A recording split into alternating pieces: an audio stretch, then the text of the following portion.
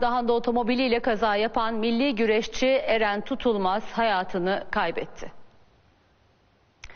Kaza Ardahan Kars Karayolu'nda meydana geldi. Aracıyla seyir halinde olan milli güreşçi Eren Tutulmaz çevre yolu mevkiinde şarampole devrildi.